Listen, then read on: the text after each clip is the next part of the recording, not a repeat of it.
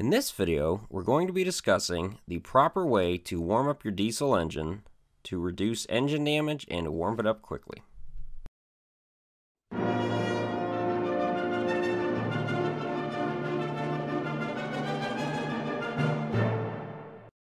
Hey guys, Josh for the Adept Ape channel, and in this video we're going to be discussing how long you should let your diesel engine warm up before driving off, especially in the cold winter months. And you might be wondering, hey, didn't you just make an idling video like a month ago? Well, yes, but that was talking about extended idling and the wear on your engine from extended idling. It wasn't really focused on when the engine's cold and when it's warming up.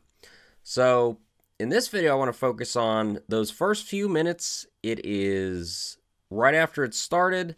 How long should you let it idle? Should you raise the RPM? Should you take off right away? And let's get into the video. Now, before I jump into the subject matter at hand, I'm going to have a little clip at the end of this video that I'm going to be trying to include in more of the videos, something I've been thinking about for a while. Please check it out and see if you like it. If you do, let me know in the comments below. So, how long should you let your diesel engine idle or warm up after it starts, especially in the cold? Well, I don't want this video to be dogmatic because there is no definitive 38 seconds and then you accelerate away at full throttle. There's a lot of subjectivity to this matter, and we're going to kind of delve into the different subjects at hand and what a cold running engine does to the engine itself and to individual components. So the first thing I'd say is you never want to start a particularly cold diesel engine and accelerate away right away. You want to let your cylinder temperatures and your oil temperatures to climb a little bit. Now, this is temperature dependent as well. If you're in Arizona and it's 100 degrees outside, pretty much once you get oil pressure, you're pretty much safe to drive away. Now, if you're in North Dakota or Russia or something and it's, you know, minus 10 degrees Fahrenheit, you're going to want to let it warm up a little bit. Now, what do I mean by a little bit? I would probably say at least a minute before you increase the RPMs because what this is doing is doing a few things. If you've ever had a jug of oil when it's, let's say, below 20 degrees Fahrenheit outside, the oil is almost a gel. It's extremely thick. So when you fire up, even if it says oil pressure on the oil pressure gauge on the dash, that doesn't necessarily mean that all the parts are lubricated properly yet. Because typically the oil pressure sensor is in the main oil galley. So your cam bearings, your cam lobes, your rocker arms, all of these items might not have oil to them yet. Also, the oil is going to be extremely thick. And oil will warm up not to full operating temperature, but it'll warm up somewhat quickly just due to the friction aspect of it being pumped through your galley, your crankshaft, all of the different orifices in the engine. Also, it's getting sprayed through the cooling jet onto the cylinder and the piston pack. So that will help warm it up a little bit. So let's theoretically say it is 10 degrees outside. You start your engine. The coolant temp is not going to climb right away because diesel engines don't put a lot of excess heat into the cooling system, especially at idle. So typically I would say wait 30 seconds to a minute and let your oil pressure and your oil feed all the moving components. At this point, you might want to, if it's particularly cold outside, rev the engine up to about 1000 RPM. This increases cylinder pressure and it's going to increase your combustion temperatures and your exhaust temperature will, will help increase the oil temperature and your coolant temperature faster. Now you're not going to need to idle it very long at this temperature. I would say probably another minute or so. And at that point, you're probably going to want to start moving the vehicle. Now, what do I mean by moving the vehicle? Do you want to accelerate heavily? Well, no, you do not. The warm-up phase is extremely hard on your engine, and it's not really the bearings or the cam, it's not really the hard metal components that you're worried about. What you're worried about is your cylinder liners, your cylinder crosshatch, basically, and your oil. because extended idle in a cold engine can wash your cylinders in diesel fuel. And some of that fuel is going to bypass the rings and the cylinder walls and get in your oil. And that'll cause something called fuel dilution. Some amount of fuel dilution is inevitable in any comp- compression ignition engine, but you want to minimize it as much as possible. Also, there's something called cylinder glazing, and that is there's various causes for it, but from what I've found, most glazing is going to occur when you have excess fuel in a cylinder, you have light cylinder pressures, so idle would be the smallest amount of cylinder pressure you would get, and a cold cylinder wall. So that would be idling in a cold condition, right? So you have you have unburned fuel because it's a cold cylinder wall.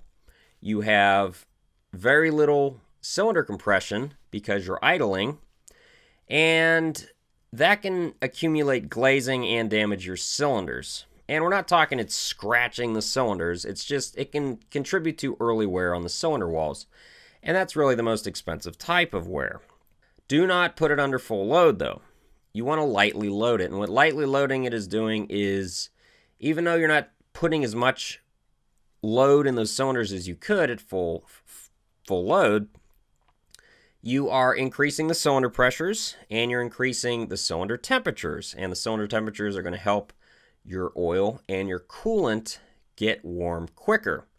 Even in colder temperatures, once your coolant temperature is up to around 180 degrees, you are ready to roll. You can go full load. You will not hurt the engine at that point.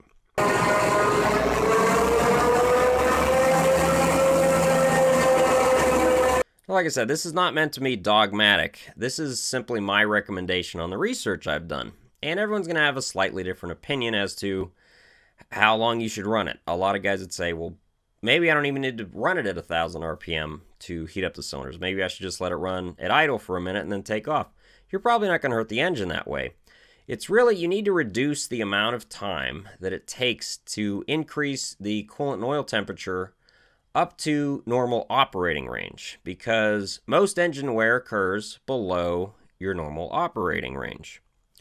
So, what are some other ways you can help speed up this process? Well, there's various ways. There's oil heaters, some go in your oil pan. There's also block heaters. Block heaters are very common in the diesel field. If you're in a very cold environment and you don't own a block heater, you might want to look into getting one of these. Most of them are 110 voltage in the US at least.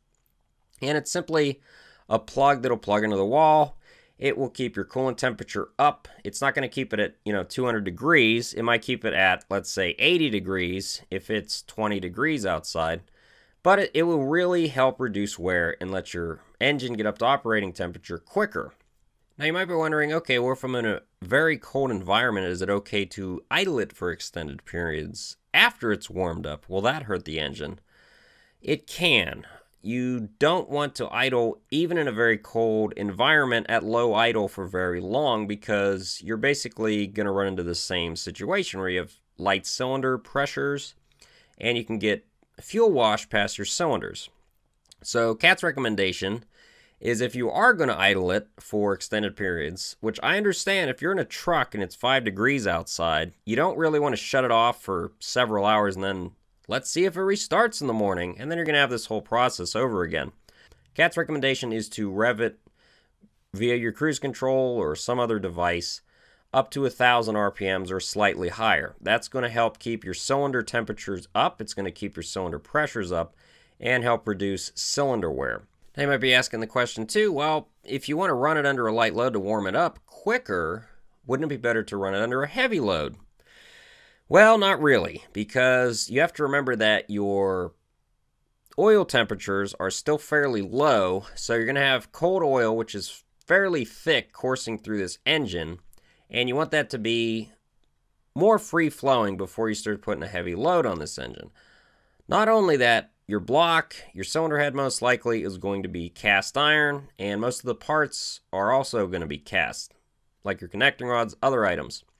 You don't want extremely cold parts put under extremely heavy stress of a heavy load because they don't flex very much. You want your temperatures up before you increase the load on the engine substantially, especially with boost. And that's going to put a lot of cylinder pressures and a lot of tension in your block and on all your parts. You really want them to be up to operating temperature because they were designed to be at operating temperature when they are fully loaded. They're not designed to be under incredibly heavy loads when they're very cold. I'm not saying that if you start one up and rev it up right away and drive off, everything's going to just blow up. I'm just saying it's probably better in the long run if you warm it up under a light load and then put it under a heavy load once it's up to operating temperature than it would be to just put it under a heavy load initially. Now, anyone that's ever been in the generator field knows that sometimes this is inevitable. A lot of the backup generators at hospitals and various places, these are huge engines. We're talking 3516, sometimes bigger engines, and they will go from zero RPMs off to up and full load in a couple seconds. Is that the best thing for the engines? Well, no, but a lot of them run block heaters to help increase the temperatures in the engine. Also, that's what they're designed for. There's really no way to get around a standby generator needing to be put online at full load or close to it that's just the nature of the beast, okay? But we're talking trucks where you can vary the load and you can vary the RPM. So we really are trying to protect your engine here and trying to get it the longest life that it can have, okay? Uh, I'd like to hear your thoughts on this video, and uh, I wanted to do the next segment, so let's get into it.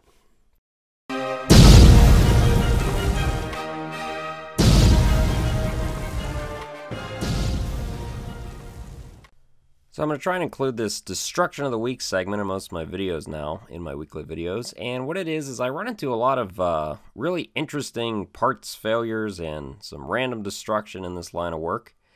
And I kind of want to show you guys because I find it interesting. So this is what happens if all your bell housing bolts break off on your Allison transmission while you're going down the road.